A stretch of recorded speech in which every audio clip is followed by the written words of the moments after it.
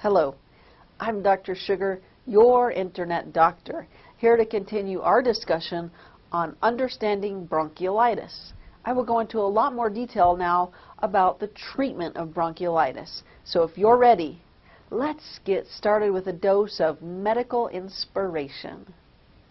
So, if the diagnosis of bronchiolitis is made, what will be done? Now, sometimes no treatment is necessary. If the infant is stable, he or she will be treated with supportive care, just as though they have a cold.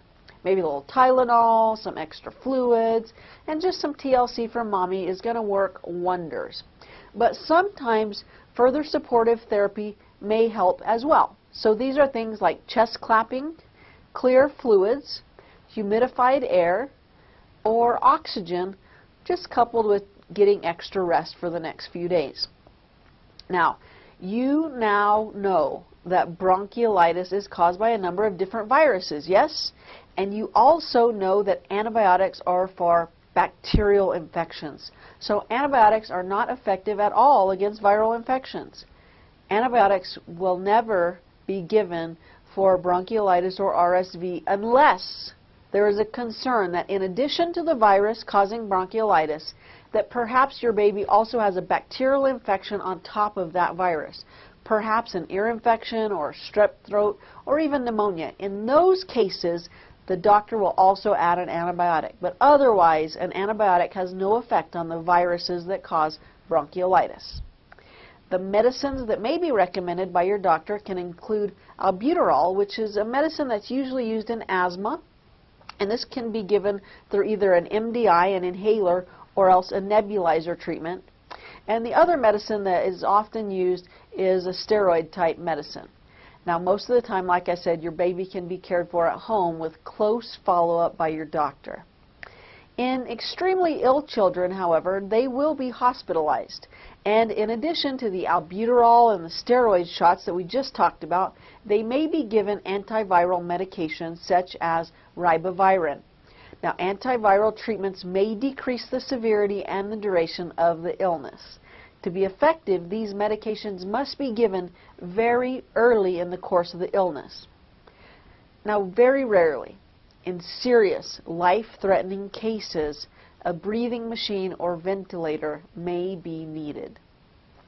Usually the symptoms get better within one week, and breathing difficulty usually improves by the third day. The mortality rate, as I said, is less than 1%.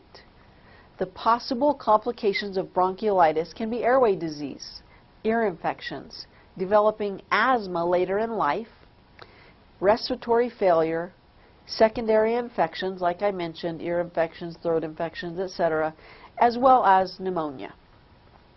Most cases of bronchiolitis are not easily preventable because the viruses that cause the disorder are very common in the environment, especially in particular seasons, seasons winter and spring.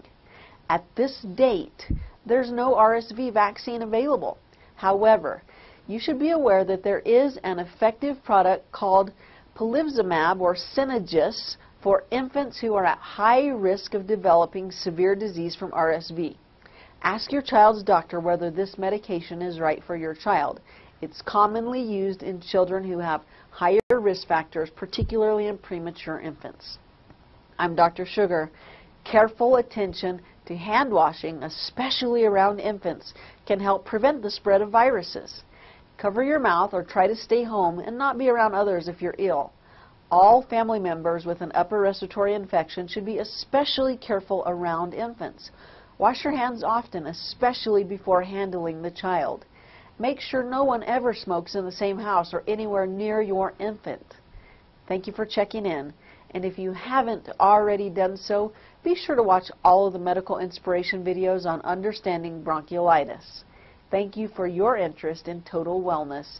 And when you have a medical question, be sure to check the video content library for many, many more medical topics. I'll join you soon for your next dose of medical inspiration.